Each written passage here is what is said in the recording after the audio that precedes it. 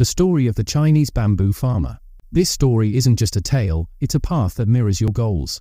Long ago, in a distant place, a farmer planted some Chinese bamboo seeds.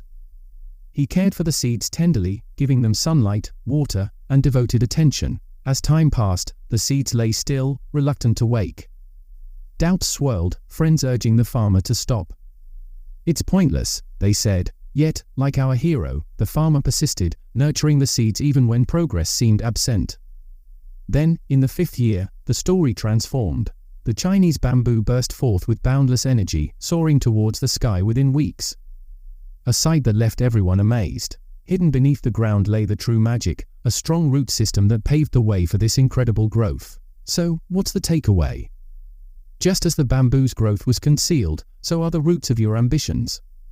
Patience and dedication nourish these roots, preparing you for remarkable success when the time is right. Your journey, much like the farmer's, might not show instant progress.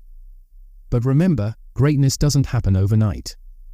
It demands a solid foundation, built through challenges. As you chase your dreams, whether it's a career, a skill, or a better life, know that progress isn't always visible, just like the bamboo's early years. So, let this tale be your guide.